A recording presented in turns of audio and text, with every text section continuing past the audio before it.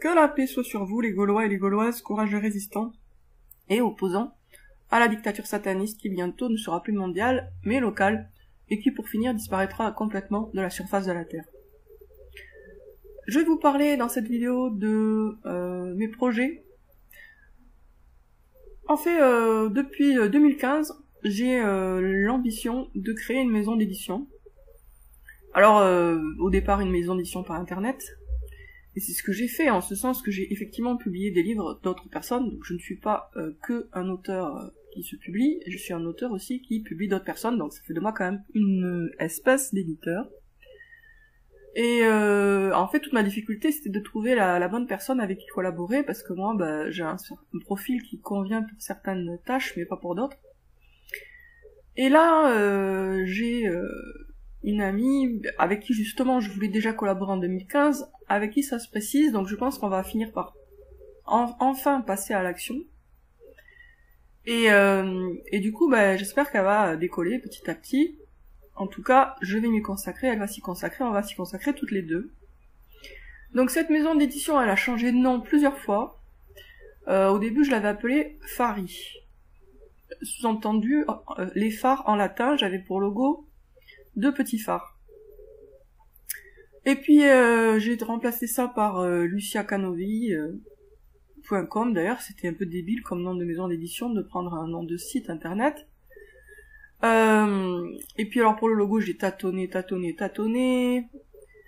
À un moment, j'étais sur point d'interrogation, point d'exclamation, c'était ça mon logo. Et au final, aujourd'hui, ben, je crois que cette fois-ci, je tiens le, le bon logo, enfin j'en suis sûre, le bon logo et le bon nom. Donc le nom c'est Zora Dark, des apostrophes ARC comme Jeanne d'Arc, Zora Dark. Ça c'est le nom de la maison d'édition. Et le logo il est d'une simplicité absolue, c'est un rond vert. Un rond vert comme feu vert, comme petit pois, comme euh, bah, que des bonnes choses en fait. Et donc ben, j'en suis contente et je voulais vous dire un truc par rapport à ça c'est que quand on est, quand on souffre, quand on est démoralisé, souvent on a l'impression que c'est parce que les choses ne se passent pas comme on, voudrait qu'elles se passent. Mais en réalité, c'est jamais ça la vraie raison. C'est-à-dire, on, se, on se met dans des étapes possibles, parfois émotionnelles, parce qu'on a l'impression que les choses, euh, voilà, ne vont pas dans le sens qu'on désire. Mais en réalité, c'est pas ça. Si on est démoralisé, c'est parce qu'on ne voit pas clairement la route que l'on doit suivre quand on voit clairement ce qu'on doit faire, ce qu'on est destiné à faire, quand on voit la, route, quoi, la route qui est la nôtre, et qu'on se dit bon ben voilà c'est cette route là que je dois prendre, il n'y en a pas d'autre en réalité, bah tout de suite on récupère beaucoup de calme et on, sort du désespoir. Donc si vous vous sentez par exemple très très mal à cause de la dictature sataniste, dites-vous bien que bien sûr le, le fait que la dictature sataniste soit là c'est pas une bonne nouvelle, mais vous ne seriez pas démoralisé si vous voyez clairement ce que vous êtes censé faire. Ce qui démoralise, ce qui vraiment casse le moral, c'est quand on est dans le brouillard par rapport à, ce, à la route que l'on doit prendre, la route que l'on doit suivre. Moi, il y a quelques jours, euh, j'étais euh, gravement démoralisée.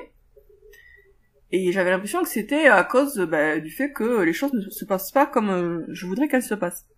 Et puis j'ai compris que je devais professionnellement me concentrer sur cette maison d'édition, et donc, renoncer à trouver un éditeur sérieux, parce que ça faisait plus d'un an que je cherchais un éditeur sérieux, donc euh, euh, constatant que j'étais pas capable de faire vraiment vivre ma maison d'édition toute seule, bah, j'avais un peu laissé ça de côté. Et donc je m'étais remise en quête, comme depuis euh, 20 ans, plus de 20 ans, euh, d'un éditeur euh, sérieux euh, et respectable pour, pour méditer. Évidemment, il y en a pas, parce que tout simplement, la raison elle est très simple, c'est que moi je suis totalement hors système et donc le système ne veut pas de moi, c'est normal quoi. J'en suis, je suis complètement en dehors. Euh, je l'ai prouvé à maintes reprises. Mes vidéos le prouvent, tout le prouve en fait. Mes livres, mes vidéos, tout. Du coup, je suis hors système et quand j'essaie de rentrer dans le système, bah, le système me rejette. Donc, euh, je des éditeurs qui peuvent être intéressés, mais ils passent jamais à la pratique quoi. Ils sont intéressés, ils disent ah ça serait bien, oui c'est pas mal, oui c'est bien. Mais en fait non, concrètement euh, non. Et euh, bah, c'est le destin, c'est, c'est, voilà. Donc au final, quand j'ai compris que j'étais censé, au lieu de chercher à euh, un boulot salarié comme comme tout le monde pour avoir la sécurité euh, financière, Donc au lieu de chercher un boulot salarié ou au lieu de me relancer euh, dans le coaching ou des choses comme ça, en fait je suis tout simplement censée rester dans ma voie qui est celle des livres et, euh, et pas chercher à droite ou à gauche. Et en fait c'est ça le, le secret, c'est d'arriver à trouver sa voie, un, bon moi ça fait longtemps que je l'ai trouvé, mais deux, y rester, et ça c'est dur aussi parce que quand on voit que ça ne marche pas ou qu'on est stressé pour telle ou telle raison, on, se, on cherche un raccourci, quoi, quelque chose qui euh, rapporte de l'argent un peu plus vite. Et en fait, ben non. Bon après il y a des y a des circonstances qui font que, hein, mais je veux dire, euh, euh l'idée c'est quand même que on a une vocation à vivre et à suivre jusqu'au bout. Et euh, et s'il y a une route qui est complètement bloquée, bah, parfois c'est tout simplement qu'on est censé tracer notre propre route, comme moi pour la maison d'édition.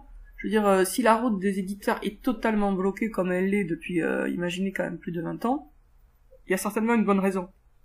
Et la bonne raison, c'est que tout simple, c'est tout simple. C'est tout simple, même si c'est une route ardue, hein, c'est que c'est à moi de créer euh, cette maison d'édition, quoi. la maison d'édition respectable, euh, c'est à moi de la créer, tout simplement. Donc, euh, petit à petit, je vais rééditer avec des couvertures améliorées, des textes mieux corrigés, etc. Bah, tous les livres que j'ai déjà édités, les miens et ceux d'autres personnes, y compris euh, Fracture en série, qui a changé de titre plusieurs fois d'ailleurs, faudrait que je refasse la couverture aussi. Donc je vais reprendre tout ça à neuf avec le nouveau logo, le nouveau nom et puis euh, des nouvelles présentations.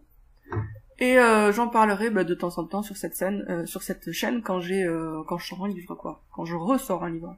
Comme là j'en ai parlé pour le pouvoir du moment futur. Donc bientôt, Inch'Allah, si Dieu le veut, sortira le premier volume de mon journal qui s'intitule Fausse pandémie, vraie dictature. Et puis rapidement, rapidement après, il y aura le deuxième volume qui s'intitule Le grand monarque et le Mahdi. Et après, ben, après, ça sera fini pour le journal jusqu'à ma mort. Et à ma mort, là, par contre, il y a tout qui sortira. Enfin, tout, euh, c'est une façon de parler parce que je fais quand même des choix, heureusement pour vous. Donc, euh, c'est raccourci. Là, euh, déjà, ça va être bien raccourci. les deux volumes, c'est le, le, point de départ, c'était plus de plus de 2000 pages. Donc, forcément, il faut que je raccourcisse, il faut que je resserre. voilà. Donc, ben ouais, il faut aller jusqu'au bout de sa vocation, euh, quelle qu'elle soit, quoi. Il faut la connaître, il faut l'accepter, et puis il faut y aller, quoi. Euh, c'est jamais vraiment le, le, chemin de la facilité, hein, le chemin de la vocation. Mais bon, en même temps, euh, quand on dévie, on, on, on, va dans le mur, quoi. On va dans les ronces, donc ça sert à rien non plus. Donc, ma conclusion, mon bilan, c'est que euh, si vous êtes déprimé, ce n'est pas à cause de la situation bah, même si elle est déprimante objectivement, hein.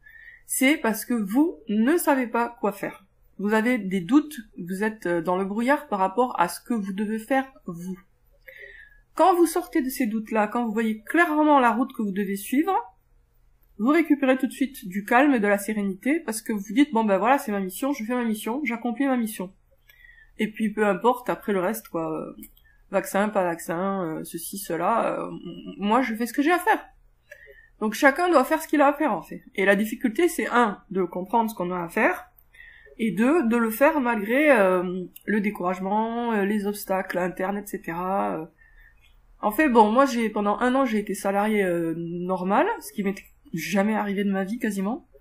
C'était non ça m'est arrivé ouais ça m'est arrivé peut-être un an d'être salarié comme ça et encore j'avais j'avais pas ce type d'horaire là j'avais 39 heures par semaine truc de fou et, euh, et bon, ben voilà, c'était, c'est bien, ça m'a remis en selle et ça m'a équilibré, ça m'a permis de récupérer euh, des, des, des, facultés qui me manquaient.